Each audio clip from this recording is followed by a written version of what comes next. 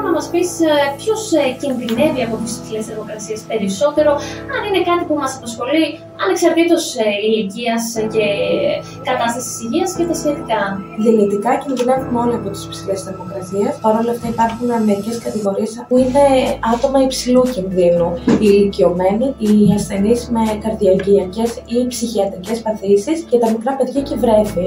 Ανήκουν στην κατηγορία υψηλού κινδύνου και πρέπει να λαμβάνουν ιδιαίτερα μέτρα προφύλαξης. Θέλω να μας πεις κάποιες γενικές οδηγίες, τώρα με τη ζέστη, που μπορούμε όλοι να κάνουμε για να το βιώσουμε λίγο πιο, πιο ήπια όλο αυτό.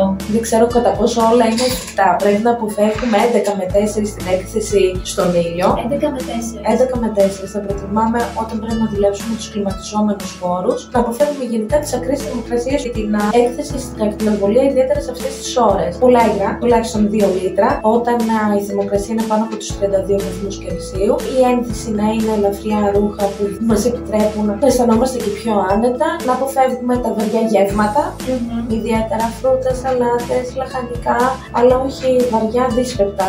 Όταν βγαίνουμε στον ήλιο να φοράμε αντιλιακό, διτετριμένο, είναι πολύ σημαντικό.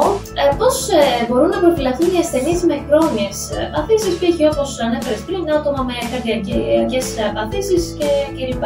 Τα άτομα με καρδιακές παθήσεις, που είναι και ο τομέας μου, πρέπει να απευθύνονται στον καρδιολόγο τους όταν και στον παθολόγο τους ε, όταν α, υπάρχουν ακραίες θερμοκρασίες, ιδιαίτερα το καλοκαίρι, γιατί οι περισσότερες αγωγές, είτε η θεραπεία της καρδιακής ανεπάρκεια ή η αντιπερδασική αγωγή, τα φάρμακα της πιέσεως, έχουν μέσα διορητικά. Το καλοκαίρι με τον υδρότα χάνουμε περισσότερα υγρά, η πίεση τίνει να είναι χαμηλότερη, οπότε πρέπει να προσαρμόζεται εκ νέου και η αγωγή των ασθενών. Οπότε καλό θα ήταν όταν παρατηρούν ότι η πίεσή τους είναι χαμηλότερη να απευθύνονται στον γιατρό τους. Επιπλέον, τα άτομα με ψυχιατρικές παθήσεις που παίρνουν ψυχιατρικά φάρμακα, πολλά από αυτά δημιουργούν ούτως ή άλλως ηλεκτρολιτικέ διαταραχές, δηλαδή από πολύ καλή νατρίου.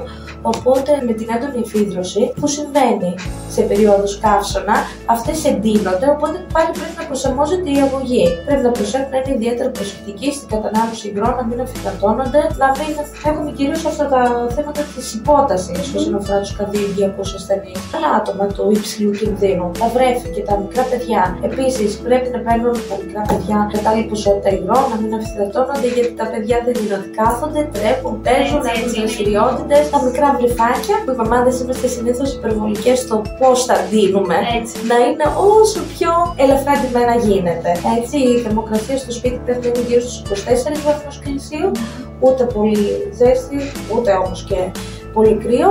Ε, εννοείται ότι επιτρέπεται και το air condition, ο κλιματισμός ακόμη και στα μικρά βρέφη, απλά όχι σε ακραίες θερμοκρασίες. Μένω λίγο στην ηλίαση και στα πρώτα συμπτώματα που ξεκινάει με την ατομία, έτσι που νιώθουμε κάπως όλοι λίγο μια δυσφορία.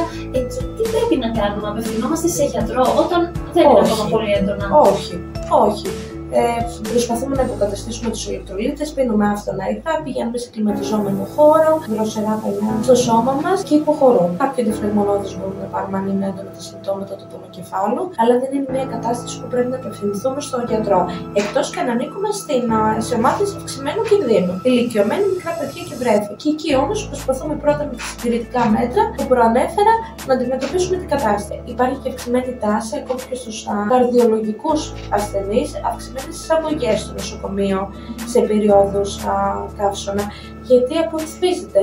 Ο οργανισμός απορριθμίζεται τελείως η πάθησή τους. Κάνουν υπόταση, αυξημένα καρδιαγγειακά συμβάματα, τότε αυτές οι ομάδες πρέπει να απευθυνθούν στο γιατρό τους. Σε πρώτο βήμα, δεν φτάνουν συνήθω με συντηρητικά μέτρα. Γι' αυτό και λέμε ότι σε αυτούς εφιστούμε την προσοχή ε, ότι πρέπει να προσέχουν για να μην φτάνουν σε περιστάσεις ηλίασης ή ακόμη και θερμοπληξία. Απολαμβάνουμε τον ήλιο με προσοχή. Εγώ αυτό θα ήθελα. Ε, Σας ευχαριστώ πολύ για όλες τις συμβουλές. Καλό καλοκαίρι.